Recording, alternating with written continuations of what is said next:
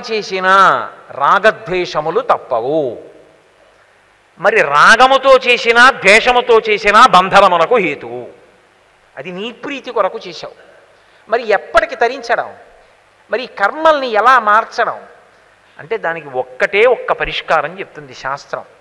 ఈ రాగము ఈ ద్వేషము ఒక్క విషయం మీదకి వెళ్ళి నిలబడిపోతే ధర్మమునందు రాగము అధర్మమునందు ద్వేషము. అయిపోయింది అనుకోండి ధర్మమునందు రాగం. ధర్మం అంటే ఎంతో ఇష్టం. అధర్మం అంటే ద్వేషం. ఇది పుట్టుకతో వస్తుందా? సాధనతో రావాలి. సాధనతో ధర్మం గొప్పదని ఎందుకు తెలుస్తుంది? శాస్త్రం యొక్క గౌరవాన్ని గురువుగారి ద్వారా తెలుసుకుంటే ఆ ధర్మాన్ని పట్టుకోకపోతే ఓ డెబ్భై ఏళ్ళ తర్వాతో ఎనభై ఏళ్ళ తర్వాతో వందేళ్ళ తర్వాతో ఈ శరీరం పడిపోతే తర్వాత ఏమైపోతాడో తెలుసుకుంటే తెలుస్తుంది.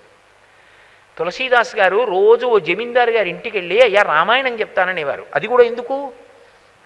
రోజు గుర్రం మీద వెళ్ళిపోతుండేవాడు కాశీపట్నంలో జమీందారు. గంగ ఒడ్డున పది మందిని కూర్చోబెట్టి రామాయణం చెప్తుండేవారు తులసీదాస్ గారు. ఆయన గుర్రం ఆపి గుర్రం మించి చూస్తుండేవాడు. తులసీదాస్ గారు ఇలా చూసినప్పుడు అనేవాడు నీకు పని లేదు పాడు లేదు. వీళ్ళని పాడు చేస్తావు. వీళ్ళందరినీ కూర్చోపెడతావు రామాయణం అంటావు. ఇంతకన్నా ఏదైనా పని చేసుకోకూడదు అనేవాడు. తులసీదాస్ గారు విని నవ్వి జమీందారు మళ్ళీ గుర్రం మీద ఇంటికి వెళ్ళిపోయిన తర్వాత ఇంటికి వెళ్ళేవారు. తలుపు కొట్టి అయ్యా మీరు కోప్పడ్డారు. ఏమనుకోకండి రామాయణం ఉద్ధరణ హేతు. ఈ శరీరం శాశ్వతమా? ఒక్కసారి ఒక్క శ్లోకం చెప్తాను వినండి. ఏంటి నాకే చెప్తావా రామాయణం? అనేవాడు. పోనీ ఒక్క పాదం చెప్తాను వినండి. ఏదో నింద చేసేవాడు. అయినా రోజు తులసీదాస్ గారు వెళ్ళేవారు ఇంకా ఆయన విసిగెత్తిపోయి ఆ జమీందారు ఏమన్నా ఏమీ పట్టించుకోడు. ఎలా? అందుకని ఏమనేవాడంటే రోజు తలుపు తీసి గొడవ ఎందుకు? రేపు రండి వింటాననేవాడు. ఆయన వెళ్ళిపోయేవాడు మళ్ళీ వచ్చేవారు రేపు రండి వింటాననేవాడు. కొన్నాళ్ళు పోయిన తర్వాత రోజు వచ్చేస్తాడు ఈయన తలుపు తీయాలి రేపు రండి అనాలి ఎవడు పడతాడు ఈ బాధ? వచ్చే నెల రండి అంటే అయిపోలే ఓ ముప్పై రోజులు రాడు. వచ్చే నెల రండి అనేవాడు. కొన్నాళ్ళు అయిపోయాక నెల నెల ఎవడు పడతాడు ఈ బాధ? వచ్చే ఏడాది రెండెండం మొదలెట్టాడు. ఓ ఏడాది ఆ మరుటి మరుసటి సంవత్సరం తులసీదాస్ గారు వెళ్ళారు. తులసీదాస్ గారు వెళ్ళి తలుపు కొట్టి యజమానిని పిలవ పిలవబోతూ ఇలా చూశారు. అక్కడ ఎద్దు ఉంది. ఆ ఎద్దులో ఉన్నాడు ఈ యజమాని జీవుడు. వీడే పునర్జన్మ. అందులోకి వెళ్ళాడు. ఇందాక చెప్పే కదా వాసన చింత. అందులోకి వెళ్ళాడు. ఎందుకని? పొలం మీద అపేక్ష. ఏమైపోతుందో? దున్నుకోవడానికి ఎద్దుగా వచ్చాడు. కబీర్ మహానుభావుడు కదా తులసీదాస్ గారు ఆయన సమక్షంలో పూర్వజన్మ యొక్క స్మృతి కలిగింది. బొట్ట బొట్ట బొట్ట బొట్ట బొట్ట పడ్డాయి. ఎందుకని? ఎద్దు జన్మలో పడేటటువంటి బాధ అంతా ఇంత కాదు. రామకృష్ణ పరమహంస చెప్తారు. దానికి అదేం బాధో తెలియదు కానీ పుండు వచ్చి క- మెడ మీద. ఎద్దు పుండు కాకికి నొప్పి అంటారు. అది ఏదో ఇంత పుండేదు. ఇంత పుండేస్తుంది.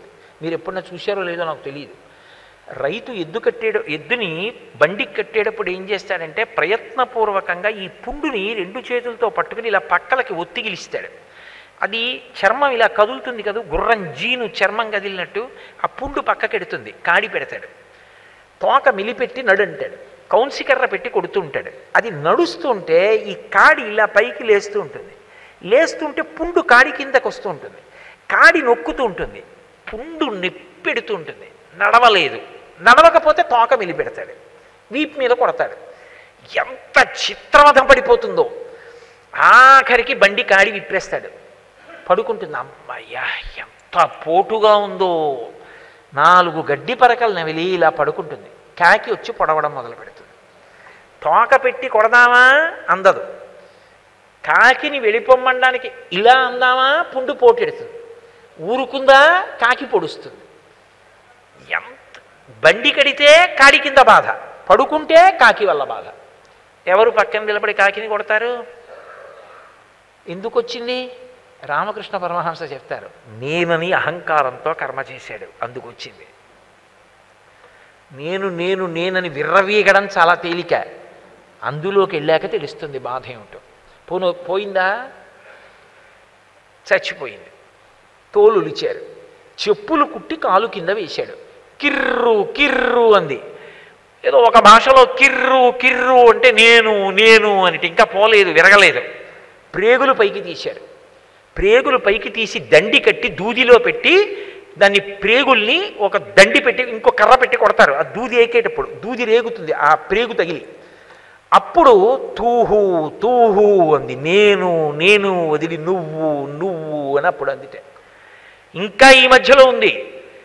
తోలు తీసి డప్పు కట్టి అగ్నిహోత్రం దగ్గర పెడతారు డప్పు బాగా మోగడానికి. డప్పు అగ్నిహోత్రం దగ్గర పెట్టి డప్పు కొడతారు. ఢామ్ ఢామ్ ఢామ్ అంది అప్పుడు కూడా నేను నేను.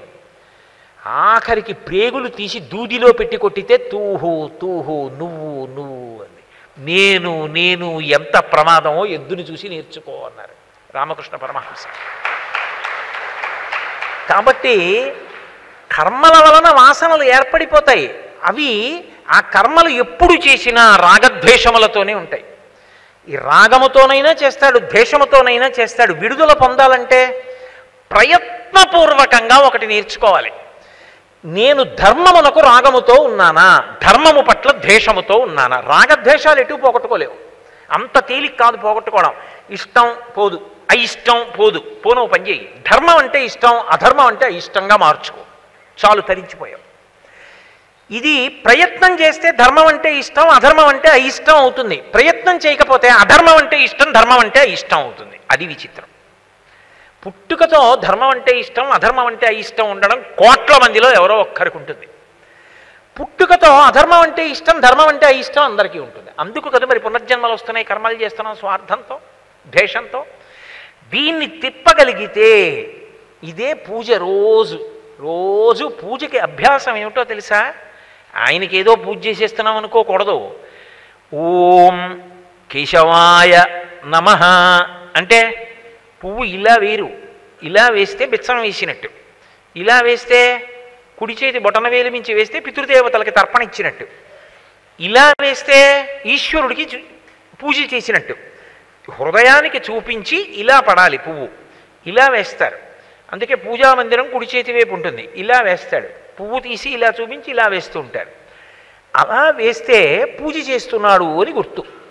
ఇప్పుడు పూజ చేసేటప్పుడు ఓం కేశవాయ నమ. పోని శివపరంగా అయితే ఓం నిధనపతయే నమ. కాదు శ్రీమాత్రే నమ. ఓం అన్నప్పుడు అకార ఉకార మకారముల చేత మనకి భగవంతుడికి ఉన్న అనుబంధాన్ని చెప్పి కేశవాయ ఒక గుణాన్ని గుర్తు తెచ్చుకుని ఈశ్వర మీరు కేశవ అని పిలవబడ్డారు. నమ. నాది కాదు. మనహ నాది. మనహ అన్నంతసేపు ఐదు ఇంద్రియాలతో నాది నాది అంటుంటుంది మనసు. మనసుని కొట్టడానికి ప్రయత్నం చేశారనుకోండి మనసు చావదు. ఎందుకంటే మనసు తాబేల్లా ఉంటుంది. తాబేలు డెప్ ఉంటుంది. నాలుగు కాళ్ళు తలా బయట పెట్టి నడుస్తూ ఉంటుంది. ఎవరైనా కొట్టడానికి వస్తున్నారనుకోండి ఐదు లోపలికి లాగేసి కూర్చుంటుంది. డిప్ప మీద కర్ర పెట్టి ఎంతసేపు కొట్టారనుకోండి కదలకుండా ఉండిపోతుంది. చచ్చిపోయింది తాబేలని వెళ్ళిపోయారనుకోండి వాడు వెళ్ళిపోయాడా లేదా మెల్లిగా కింద నుంచి చూస్తుంది. ఆమె వెళ్ళిపోయాడు మళ్ళీ మెల్లిగా నడుచుకుంటూ వెళ్ళిపోతుంది డిప్ప మీద కొట్టినంతసేపు చావదు. మనహ తాబేలు చావలేదు. తిప్పేశారు. తిరగబడేసి ఇలా అన్నారు చచ్చిపోతుంది. నమః చచ్చిపోయింది. మనహ చావదు. నమః చచ్చిపోయింది. ఓం కేశవాయ మనహ నాది నాది అన్నాను. నమః నాది కాదు. ఓం నారాయణాయ నమః నాది కాదు నాది కాదు నాది కాదు. ఎవరిది? వాడిది వాడు వాడిది. ఒక నేను అనేక నాదులు ఒక వాడు అనేక వాడివి. ఏమిటో నువ్వు అన్నమాట అర్థం కాలేదు. నేను మీకు ఉదాహరణ చెప్తాను. ఒక తేనె చుక్క తీసి ఇలా నేల మీద వేశాను అనుకోండి అది ఒక్క తేనె చుక్క. ఇప్పుడు ఆ తేనె చుక్క దగ్గరికి నేను అరగంట పోయాక వచ్చి చూస్తే చుట్టూ చీమలు ఉంటాయి గుండ్రంగా. అన్నీ నాకుతూ ఉంటాయి. ఒక్క నేనుకి అనేక నాదులు ఉంటాయి. అందులోంచే అహంకార మమకారాలు పుడతాయి. నేను కోటేశ్వరరావుని నేను అన్నాను అనుకోండి ఈ నేనుకి నా లాల్చి నా ఉత్తరీయం నా ఉంగరాలు నా రుద్రాక్షలు నా ఉపన్యాసం నా కళ్ళజోడు నా ఇల్లు నా డబ్బు నా ఉద్యోగం ఇన్ని నాదులు. ఒక్క తేనె చుక్కక అన్ని చీమలు. మధుకైటభులు అంటారు వీటిని. ఒక్క మధు. బిందువుకి అన్ని కీటకాలు పట్టుకుంటాయి. నేను నాదులు. కాదు వాడు వాడిది. ఎలా? ఇలా అంటే నేనంటున్నానా? మీరు నేననాలంటే ఏమంటారు? నేనంటాను. నేను అంటాను. మీరు అనాలంటే నేను అంటారు. ఇక్కడ నేనే అక్కడ కూడా నేనే. ఇందులో ఏ నేను ఉందో అందులో అదే నేను ఉంది. కానీ ఇక్కడ నేనన్నవాడిని మీ దగ్గరకు వచ్చేటప్పటికి నువ్వు అంటాను. ఈ మధ్యలోకి స్వార్థం అంతా వస్తుంది. అక్కడ రాగద్వేషాలు వస్తాయి. ఇది పోవాలంటే రాగద్వేషాలని పోగొట్టుకోవడం అంత తేలిక కాదు మనుష్య జన్మలో. దీన్ని మార్చేసేయి. రాగద్వేషాలని ఒక వస్తువు మీదకి పట్టుకెళ్ళి పెట్టు. ధర్మమునందు రాగము అధర్మమునందు ద్వేషము. అలా ముహూర్తం పెట్టుకుని ఈ ఉపన్యాసం అయిపోయిన దగ్గర నుంచి నేను ధర్మమునందు రాగముతో అధర్మమునందు ద్వేషముతో ఉండనుగాక అంటే వస్తుందా? రాదు. రామాయణం బాగా విను. ధర్మం ఎలా రక్షిస్తుందో తెలుస్తుంది. ధర్మమునందు రాగము కలుగుతుంది. భారతం చదువు. రామ ధర్మం ఎలా రక్షిస్తుందో తెలుస్తుంది. ధర్మమునందు రాగము కలుగుతుంది. అధర్మమునందు ద్వేషము కలుగుతుంది. అధర్మమునందు ద్వేషము కలగగానే నువ్విక అధార్మికమైన పని చెయ్యవు. రాగం ధర్మమునందు రాగము కలగగానే ధార్మికంగా ప్రవర్తిస్తావు. ఇది చేసి చెయ్యని వాడితో సమానం. ఎందుకని? ఎప్పుడైతే నువ్వు చేస్తున్నది ధర్మమో కర్తవ్యమో అప్పుడు అది నిన్ను బంధించదు. బంధించకుండా ఇక ఏ విధమైనటువంటి పాపపుణ్యములను ఇవ్వదు. అందుకే ఎప్పుడైనా సాధనలో రెండు ప్రశ్నలు వేసుకుని మొదలుపెట్టాలి. సాధన పునర్జన్మని నియంత్రించుకోవడం మొదలుపెట్టాడు అని గుర్తేమిటంటే ఒక పని చేసేటప్పుడు రెండు ప్రశ్నలు వెయ్యాలి. ఈ పని నేను ఎందుకు చేస్తున్నాను? ఇది నా ఇష్టం కోసం చేస్తున్నానా? నేను సాయంకాలం సంధ్యావందనానికి కూర్చుంటున్నాను అనుకోండి సంధ్యావందనం నాకు ఇష్టమా? నాకు ఇష్టమేం కాదు. సంధ్యావందనం మీద నాకు ద్వేషమా? నాకేం ద్వేషం లేదు. మరి నేను ఎందుకు చేస్తున్నాను సంధ్యావందనం? శాస్త్రం చెప్పింది కనుక. నాకు రాగము లేదు ద్వేషము లేదు. శాస్త్రం చెప్పింది చేస్తున్నాను. ఇది ఎలా ఉంటుందో తెలుసా అండి? పక్కన కూర్చుని పొగిడిన వాడి కన్నా యజమాని పనిచేసిన వాడి మీద యజమానికి ప్రీతి. నేను అన్న మాట బాగా పట్టుకున్నారో లేదో మీకు ఉదాహరణ చెప్తాను.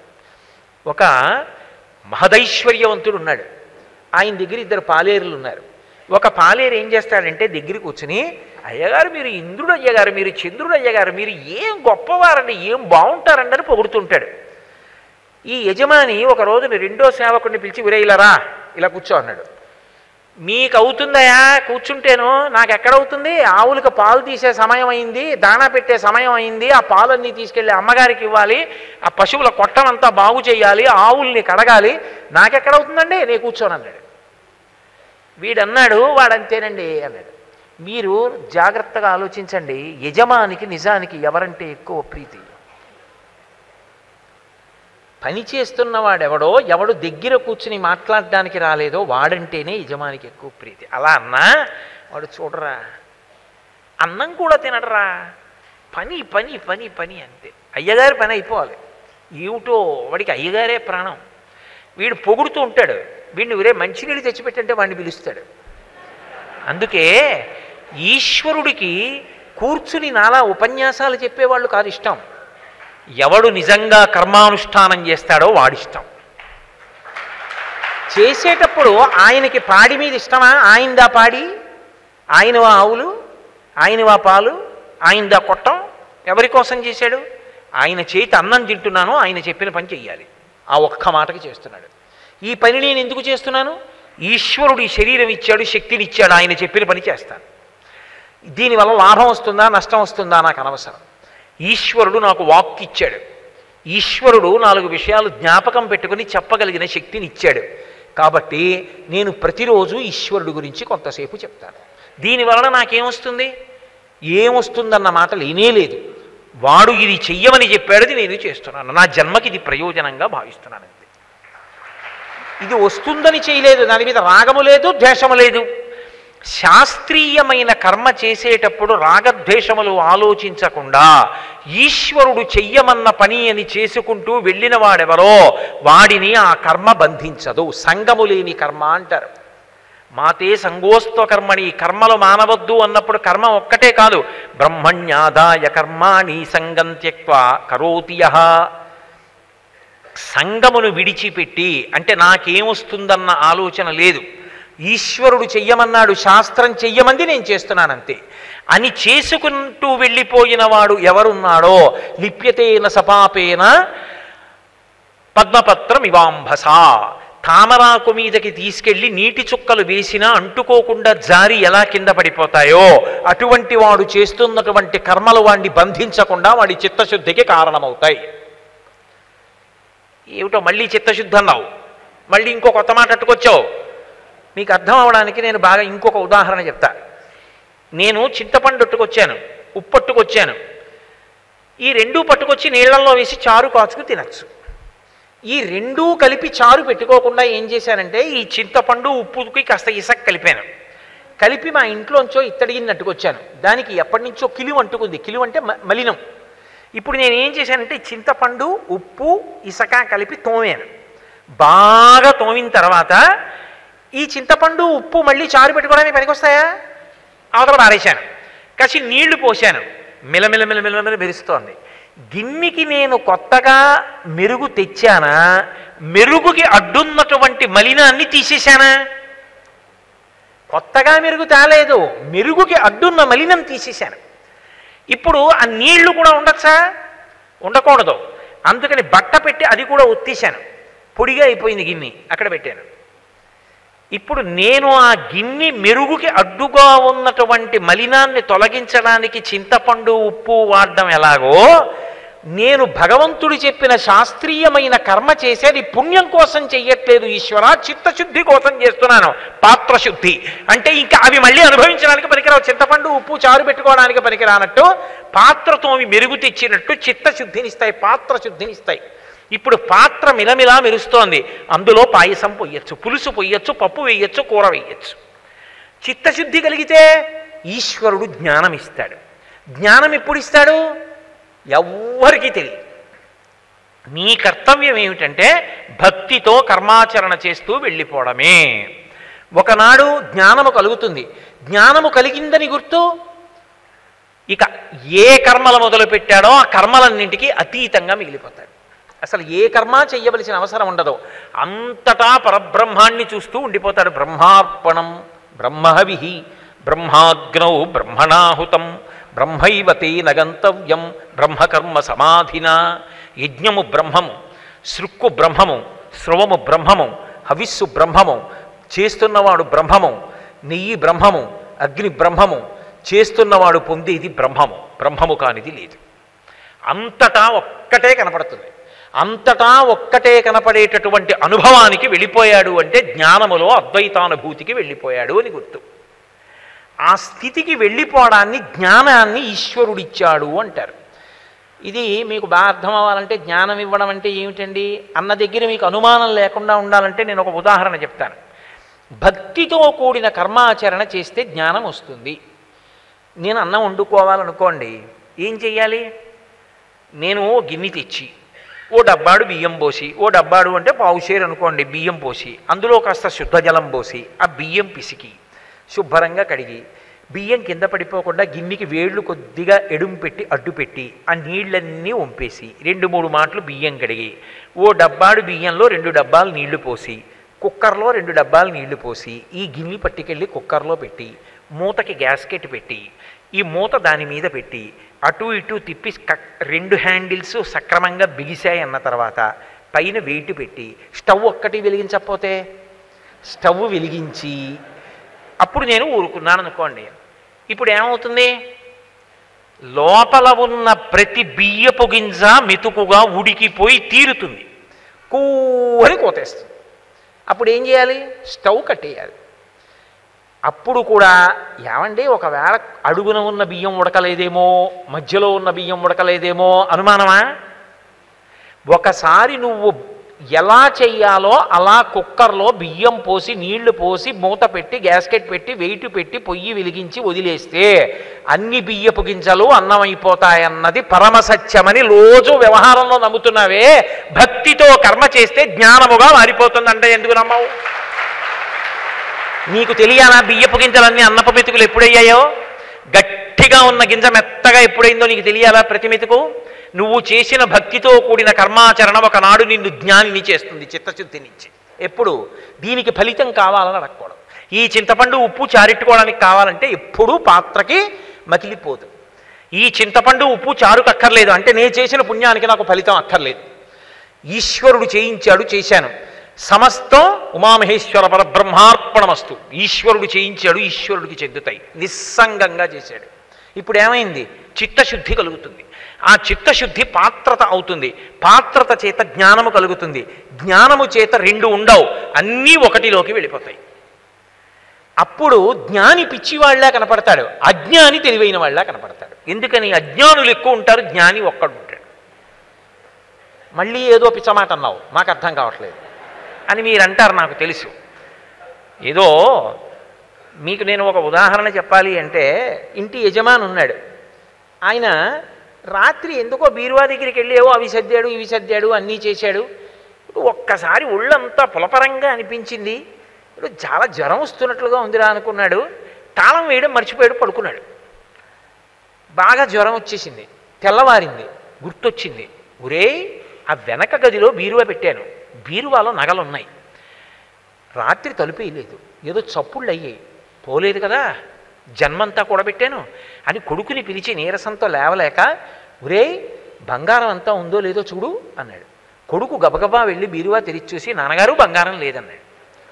వీడు ఇంత జ్వరంలో లేచి గబగబా వెళ్ళి లేదురా అని హడిలిపోయి తలుపులు తీసి చూశాడు. గొలుసులున్నాయి ఉంగరాలున్నాయి కేయూరాలున్నాయి కిరీటాలున్నాయి మంజీరములున్నాయి అన్నీ ఉన్నాయి. ఏమిరా నీ అఘాయిత్యం? ఇలా చెప్పావు? ఇక్కడే ఉందిగా బంగారం? నాన్నగారు బంగారం ఎక్కడుంది నాన్నగారు? కేయూరములు ఉన్నాయి కుండలములు ఉన్నాయి ఉంగరములు ఉన్నాయి లేకపోతే గొలుసులు ఉన్నాయి ముక్కు పుడకలు ఉన్నాయి ఇవి ఉన్నాయి బంగారం ఎక్కడుంది? అయ్యో నీకు నామము రూపము కనపడుతోంది గొలుసుగా రూపము గొలుసు అన్న పేరు కనపడుతోంది బంగారం లేని గొలుసు ఎక్కడిదిరా? నాన్నగారు మీరేమన్నారు? బంగారం ఉందా? చూడన్నారు. గొలుసుంది బంగారం ఎక్కడుంది? ఒరే గొలుసుగా ఉన్నది బంగారమేరా అంటాడు తండ్రి. నాన్నగారు బంగారం ఎక్కడుంది? గొలుసుందంటాడు తండ్రి. నామము రూపము రెండింటి దగ్గర ఆగిపోయినంతసేపు మాయలో ఉన్నాడు. నామరూపములు దేంట్లోంచి వచ్చాయో ఆ పదార్థమును పట్టుకున్నవాడు బ్రహ్మమును తెలుసుకున్నాడు. బంగారము ఉంటే నగలున్నాయి. బంగారము లేదు నగలు లేవు. నగలు లేకపోయినా బంగారం ఉంటుంది. ఇవన్నీ కరిగించేశారనుకోండి బంగారం అయిపోతుంది. బంగారం లేకుండా నగలు తేండి బ్రహ్మము లేని జగత్తు లేదు. జగత్తు లేకపోయినా బ్రహ్మం ఉంటుంది. అంతటా ఇన్ని రూపాలుగా కనపడుతున్నదంతా ఒక్క పరమాత్మయే అని నోటితో అండం కాదు. అనుభవంలోకి వచ్చి ఏకం అందుకే అద్వైతం రెండు కానిది ఒక్కటి జీవుడు బ్రహ్మము అని లేవు. ఒక్కటే జీవ బ్రహ్మైక్య సిద్ధి పొందినటువంటి మహాజ్ఞాని. ఇక ఆచరించడానికి కర్మకి ఏముంది? రెండో పదార్థం ఏముంది? ఏ కర్మ చేయడు? సమాధి ఎందు తనలో తాను రమిస్తూ Thank you.